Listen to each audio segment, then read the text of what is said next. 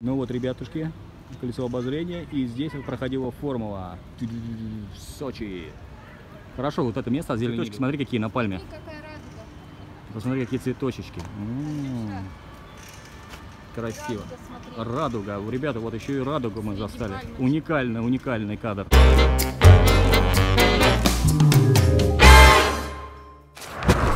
Всем привет, ребята! Сегодня отправляемся от центрального Сочи до Олимпийского парка. Вот там виднеется у нас РЖД вокзал. Идем туда, там нас ожидает ласточка. Четвертый путь. Короче, идем сейчас вот. И сядем э, до Меретинской бухты, по-моему, да, где, короче, До Мертинского курорта. Да, где проходила Олимпиада, Нет, у собственно. нас время уже. Какой нам путь нужен? Четвертый? Итак, друзья, мы отсюда отправляемся на Ласточки. Отсюда, собственно говоря, также мы отправлялись в Роза Хутор. Это один из самых удобных способов добраться либо на машине, ну или автобусом. Обошлось нам это 155 рублей с человека. Ну там, видишь, такой прикольный дворец. Это гостиницы сдают там.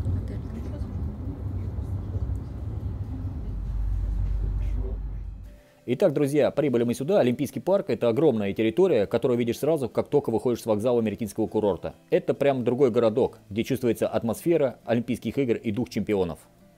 Удивительно, но многие люди даже не знают о существовании Меретинского курорта. А ведь именно здесь проходили Олимпийские игры, чемпионат мира по футболу и Гран-при Формула-1. Представляете, какие это масштабы? Площадь Олимпийского парка огромная, 264 гектара. От олимпийских сооружений захватывает дух. Обязательно нужно зайти в Олимпийский парк и посмотреть на олимпийские объекты, на стадион Фишт, Ледовый дворец. А- ранее сюда я уже приезжал в 2014 году, и сейчас как раз посмотрим, какие произошли изменения за вот эти несколько лет. Ну, раньше не хватало как бы зелени, но вот эти пальмочки, они были и в то время. Не хотелось бы, конечно, говорить о плюсах и минусах этого места. Самый главный недостаток, на мой взгляд, это отсутствие зелени. Вернее, она есть, но именно вот в этом месте она сильно сконцентрирована. А в остальном парке ее гораздо, гораздо в меньшем количестве. Это особенно сильно ощущается в жару, потому что не скрыться от солнца под пальмочкой, как, это можно сделать в центральном Сочи. Второй минус – это навязчивый сервис с предложением доехать на электромобиле. Конечно, это плюс для тех, кто не хочет идти пешком. Стоимость проезда вам обойдется 150 рублей с человека. Но нам как-то повезло в этом плане, поэтому нас довезли абсолютно бесплатно. Благодаря вот этому человеку. Но можно также взять велосипед на прокат, благо этого добра здесь хватает практически на каждом шагу. Но вот как я вот брал, допустим, в 2014 году, ездил часа 3-4 по всему парку. Очень замечательно. Помимо олимпийских объектов, в Америтинке есть отличный пляж. Именно его мы отнесли к плюсам, потому что в отличие от Сочи здесь нет волнорезов и очень красивое море, бирюзового цвета. Обязательно берите с собой купальник и всякие купальные принадлежности.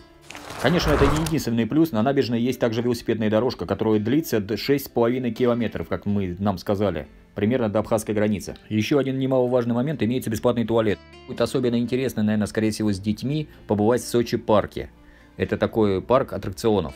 Раньше его здесь не было. Вот они, кажется, его сделали не так давно. А может уже и давно. Еще один немаловажный момент. На набережной имеются бесплатные туалеты, э, что особенно порадовало. Олимпийский парк. Там у нас Сочи парк. Красиво. Стадион Фишт. А вот мы идем к Олимпийскому огню, собственно, вот здесь вот. А здесь мы, собственно говоря, проходим стадион Фиш, где проходило открытие Олимпиады. С таким вот, как многие помнят, грандиозным шоу. Но еще один минус я бы хотел бы назвать, это сами объекты закрыты для посещения туристов. И вот, ребята, перед нами открывается такой вид Олимпийской площади, чаша Олимпийского огня. Вон там у нас виднеются какие-то тут забивака и вот этот талисман олимпийский, короче, это зайчик там какой-то.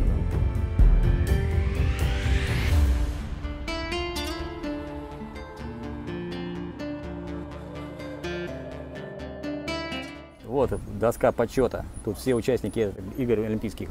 Уважаемые гости Олимпийского. Юлия Лепницкая, Полющенко, фигурное катание. Чемпион, страна чемпион игр. Здесь у нас зайчик вот этот олимпийский. Они бесплатно фотографируются за деньги? За деньги, конечно. 200 рублей. А, 200 рублей фото стоит. Понятно. Я думаю, тут бесплатная услуга. Бесплатно у нас только сыр и мышеловки. Да, Хот- зачем люди будут ходить? Тут очень огромная территория, можно бродить целый день. Вечером устраивается грандиозное зрелище прямого олимпийского огня. Поющие фонтаны.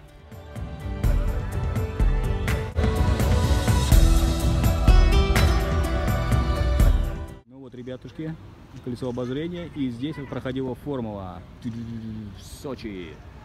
Хорошо, вот это место озеленили очень, прям радует глаз. Еще бы это сделали бы везде бы так. Вон цветочки, смотри, какие на пальме.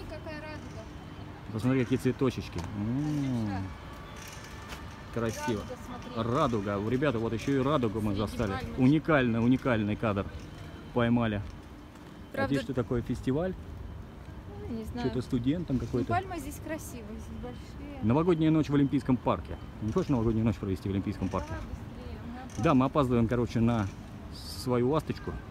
Или как ее называют? Ласточка или ворона, блин, как это? Правильно. Я ворона, я ворона. Да, да, да, да, да, да. Все. Возвращение. Ура! Наконец-то мы идем на вокзал. На вокзал. Ну, наверное, слышимость не будет, потому что там микрофон закрыт. Почему? Не знаю. Мы Мы приехали, чтобы победить. типы. О. Короче, ребята, смотрели Олимпийский Не, парк. прикольно, конечно. Можно было бы дольше походить, но Да, но у нас что-то решили мы домой срулить. да. Подустали уже, да? Да, много нужно ходить, и покатались, и походили.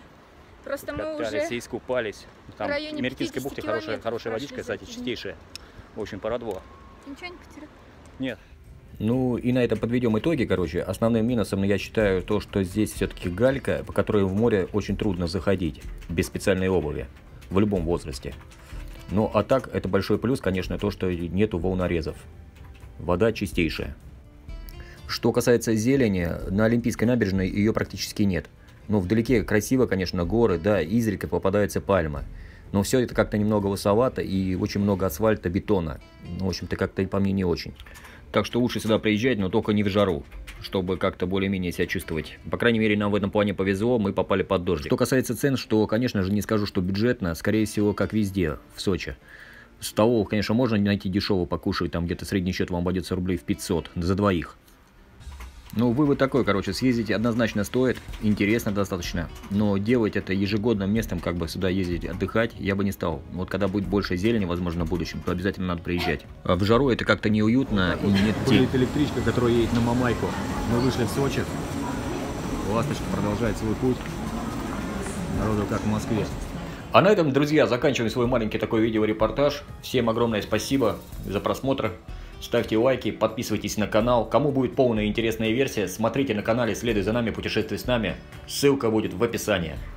Режье море. Нравится? Я бы тут заснул бы.